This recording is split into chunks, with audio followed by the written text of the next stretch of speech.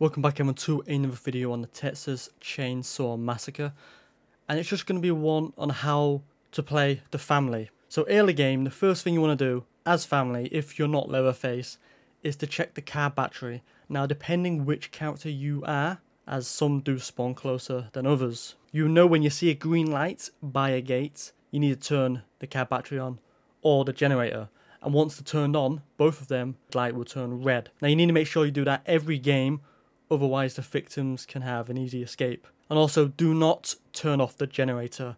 The generator needs to be turned on to stop victims easily escaping from the gate. Now the generator is on automatically every game now, but the car battery you still have to do every game. So you need to make sure that's on because that will just be an easy escape for the victims. So now finding victims might be a challenge to some people, but as a family you need to make sure grandpa is being fed blood which will increase his family bond and that will make it so much easier to locate each victim. When you hear grandpa scream, keep a lookout as you may some victims being highlighted if they're on the move. They also won't be highlighted if they don't move during that time when the family bond is a low level. And also make sure to shut and lock each door that you can. You don't want to make victims' life easier by leaving all the doors open for them. You want to force the victims to make as much noise as they can so you know when they barge a door open. Now Leatherface starts off in the basement every match and the main goal early game is to flush the victims out.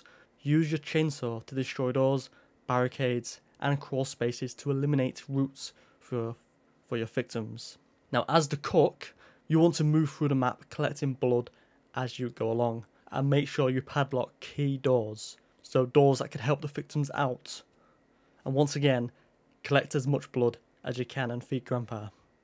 And also the same goes for Sissy, she can also be great at collecting blood and getting the family bond even higher. You can also equip the blood harvesting attributes which allows you to get even more blood and increase your vial cap, which I have active for Sissy. And also don't forget, as Sissy, you can poison health potions, fuses, valves, and she traverses similar to Hitchhiker. She can also poison Hitchhiker traps, so anything she has spiked will affect a player's stamina and visuals.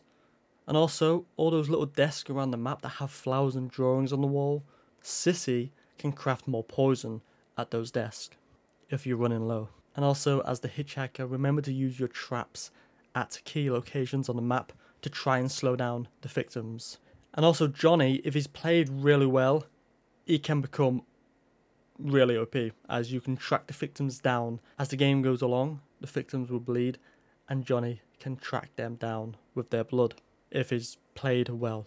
Also a quick few tips. Try not to focus on one victim too long as other victims could be close to escaping. Remember to use your special abilities each family member has their strengths and weaknesses. And also keep an eye out for a red visual on screen. This will indicate noise being made.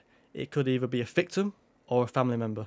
So that's just a few things on how to play family in the Texas Chainsaw Massacre. I've seen so many rookie mistakes like Leatherface turning the generator off twice when I turned it back on. Um, the car battery not being turned on at the start of the game, which as Leatherface, after I was done in the basement, I had to go up. I checked, the car battery wasn't on. So those things should really be done early game. But if you still have any questions about playing family, leave a comment down below and I'll try to answer. Or if anyone else watching this video knows a bit about family and could answer, then feel free.